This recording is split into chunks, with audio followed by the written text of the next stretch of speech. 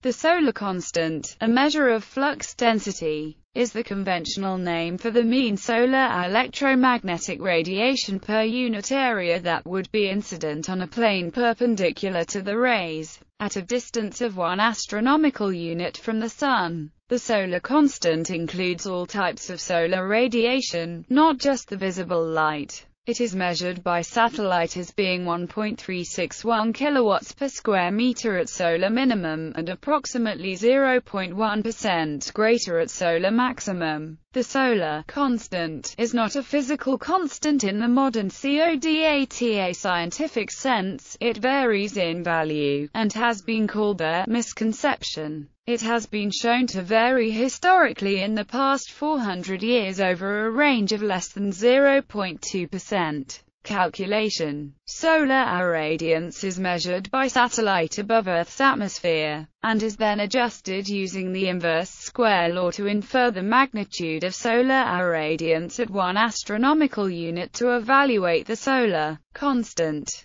The approximate average value cited, 1.3608 plus or minus 0.0005 kilowatts per square meter, which is 81.65 kilojoules per square meter per minute is equivalent to approximately 1.951 calories per minute per square centimeter, or 1.951 Langleys per minute. Solar output is nearly, but not quite, constant. Variations in total solar irradiance were small and difficult to detect accurately with technology available before the satellite era. Total solar output is now measured as varying by approximately 0.1%. See solar variation for details. Historical measurements in 1838, Claude Pouillet made the first estimate of the solar constant. Using a very simple pyrheliometer he developed, he obtained a value of 1.228 kilowatts per square meter, close to the current estimate. In 1875, Jules Violle resumed the work of Pouillet and offered a somewhat larger estimate of 1.7 kilowatts per square meter based, in part, on a celebrated measurement that he made from Mont Blanc in France.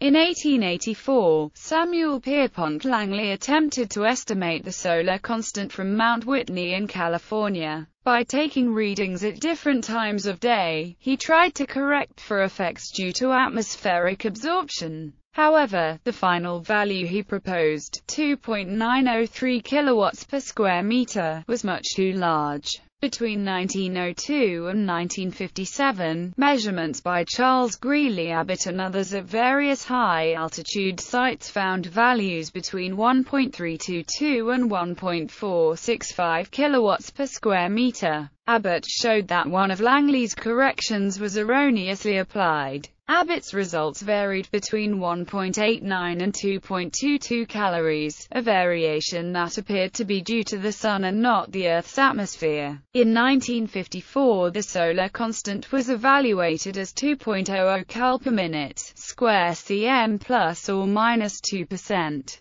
Current results are about 2.5% lower. Relationship to other measurements Solar irradiance The actual direct solar irradiance at the top of the atmosphere fluctuates by about 6.9% during a year due to the Earth's varying distance from the Sun, and typically by much less than 0.1% from day to day. Thus, for the whole Earth, the power is 1.730 times 1017 W, plus or minus 2 W per square meter. The solar constant does not remain constant over long periods of time, but over a year the solar constant varies much less than the solar irradiance measured at the top of the atmosphere. This is because the solar constant is evaluated at a fixed distance of one astronomical unit while the solar irradiance will be affected by the ellipticity of the Earth's orbit. The Earth receives a total amount of radiation determined by its cross-section, but as it rotates this energy is distributed across the entire surface area, hence the average incoming solar radiation, taking into account the angle at which the rays strike and that at any one moment half the planet does not receive any solar radiation, is one-fourth the solar constant.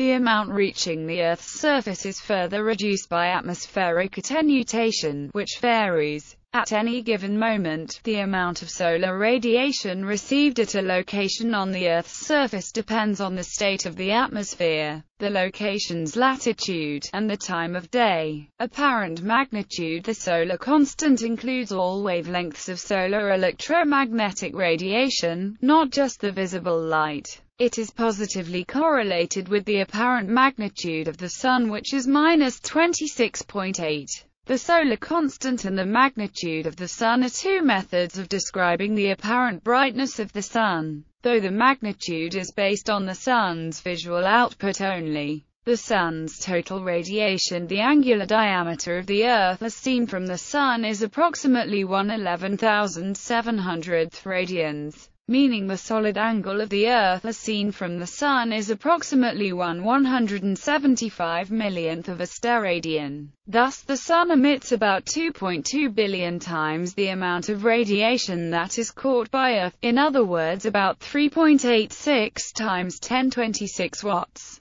Past variations in solar irradiance Space-based observations of solar irradiance started in 1978. These measurements show that the solar constant is not constant. It varies with the 11-year sunspot solar cycle. When going further back in time, one has to rely on irradiance reconstructions using sunspots for the past 400 years or cosmogenic radionuclides for going back 10,000 years. Such reconstructions show that solar irradiance varies with distinct periodicities. These cycles are 11 years, 88 years, 208 years and 1000 years.